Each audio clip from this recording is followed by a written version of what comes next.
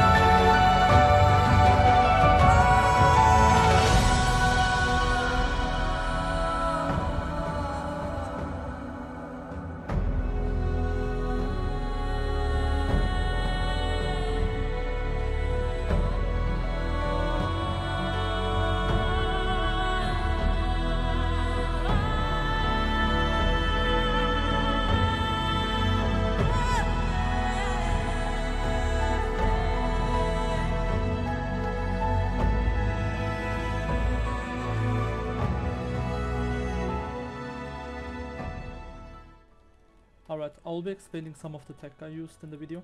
The first one will be skipping the activation range limit on X3, or illusionary ambush in this case as well.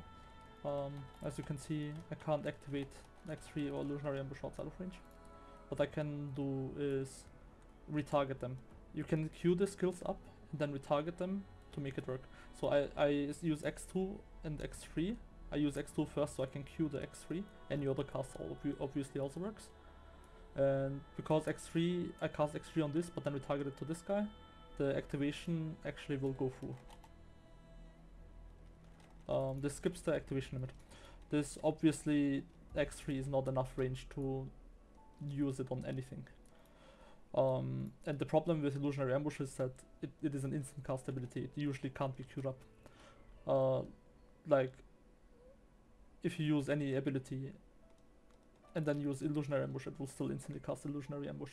What you can do instead, um, oh yeah, let me show you something else as well. One more thing, um, illusionary ambush specifically you can't use while jumping. It won't work. What you can do instead, um, there's a tag I figured out some time ago. You can cast something mid-air, and if you're casting something mid-air, any instant ability cast can be queued up, and the cast will go through after the initial cast is done. So I can use SWAT 5 and jump, and mid-air I can use Illusionary Ambush, and this will make it so that it then ends up being queued up after after the SWAT 5 is done. Obviously, this still doesn't really like make me swap target, right? What you can instead do is um, the, the two technologies, two different techs I mentioned, you can basically combine them. So let's say this River Drake for example is my main target, I want to leap towards this guy. It's outside of my activation range and I can't use it. So I queue up Illusionary Ambush with the two methods combined on the rabbit here for example. And I will use SWAT 5, jump, and mid I use Illusionary Ambush.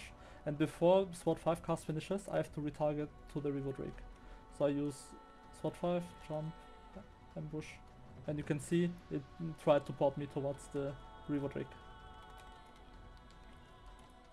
Um, yeah, that's basically most of the, this is basically done in the Molten skip video, in the Underground video, and there's many more places where Mesmer can actually make some skips this way, um, outside of Fractals as well.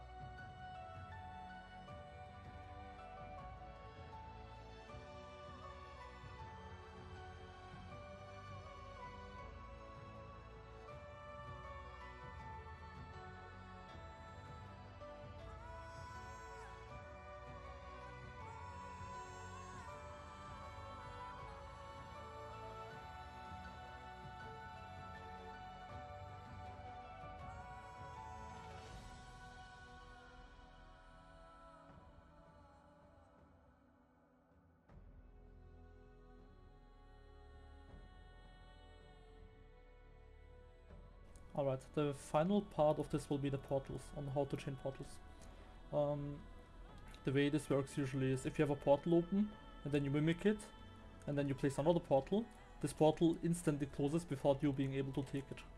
Like I couldn't take it, I pressed the portal and tried taking it at the same time, it doesn't work. Uh, what you can do instead, uh, what actually does work, is paying attention to the buff timer. When the timer runs out, the portal will still be available for a few seconds, right? And like it's like a significant amount of time. This load this is very easy. Um what you can do is um you place the portal with mimic and then you wait out for the timer. You just wait out for the timer and when the timer runs out you place a portal and then you take it. The portal won't close anymore after the effect runs out. So you can just chain portals this way and on two different locations without having to use CS for example. I see a lot of people use CS take the portal and then CS back, uh, place the portal here and then CS back to just open it at the same spot again, which is like, um, yeah, not ideal. And I think that should be the final thing that I need to mention in the video. Otherwise, everything is, um, otherwise everything is like, um, clear on the video. I hope the guide helped you, uh, helps you guys a lot, and I wish you a nice day.